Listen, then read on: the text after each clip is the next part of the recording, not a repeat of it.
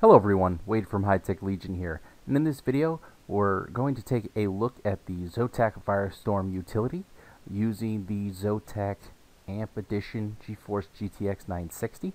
Um, you've got a few features here definitely with this software that allow you to do quite a bit and you'll also see that I have Unigine Heaven up on the right here because that's what I'm going to validate the benchmark with. Um, I've already fooled around with the clocks a little bit on this card, so I know pretty much where it's going to sit. But let's take a look at the utility first. So what you have here on the left is a quick look at the GPU clock and memory clocks on um, and what it's running at currently.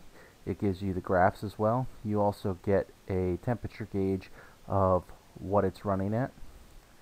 Down here you have settings for the utility to launch it on startup, minimize it, overclock it when it launches, uh, whether you make it the trans you can set the transparency of it and you can synchronize all your GPUs if you have multiples into in the system. So you also have a BIOS button here. The BIOS button allows you to save the video BIOS or flash a new BIOS to the graphics card. Info just gives you your information on the graphics card as well as your driver and BIOS version and everything like that. Uh, pretty much like GPU-Z to some degree.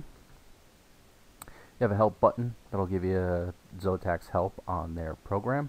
Of course, you have the version number of the program up here.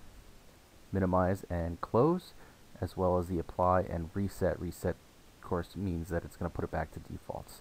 If we press more here, we'll get a pop-up window here, which gives us the some other statistics here of voltage, GPU utilization, memory utilization, and GPU temp.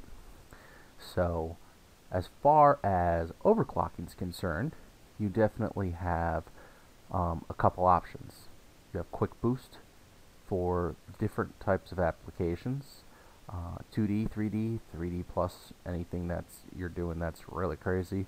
Um, and you have advanced, which will give you this pop-up and allow you to set the settings however you want. You've got three profiles here that you can set the settings and save to whichever profile you want by clicking one of these buttons and clicking save. Um, I actually, you can see that I have a 62 megahertz boost on this right now. That's what we found the overclock to be um, for this particular card. Not all cards, of course, are equal. You may get more, you may get less. Um, and then, of course, we have gamer setting as well.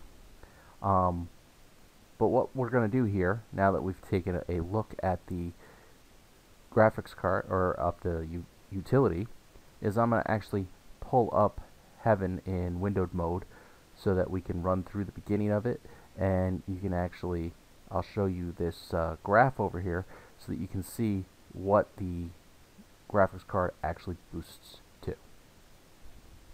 So it's going to take a second here for the, all the textures to be loaded into memory. Alright, so we've got Heaven running here, and I'm going to actually hit the benchmark button here. And then I'm going to hit Alt Tab to bring up the Firestorm utility so that you can see what's kind of going on here. Um, you can see it actually boosted to 1491 there, and now it's kind of sitting at 1479.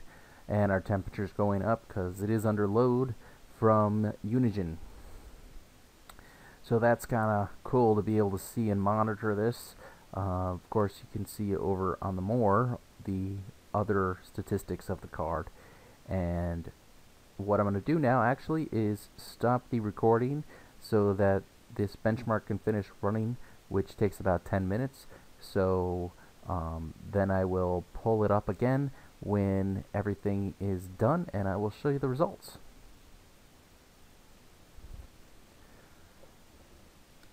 Alright guys, so what you're seeing here is the result of the benchmark after the overclock was done of 62 megahertz on the GPU clock.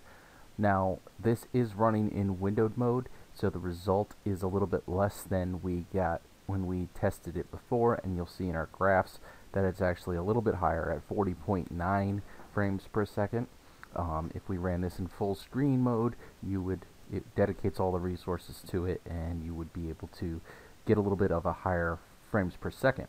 Um, however, this definitely shows that the card is capable of boosting up to that point and you can see actually right now just with this running in the background it's actually boosting up to 1479 um, even though it's only up to 1391 with the overclock.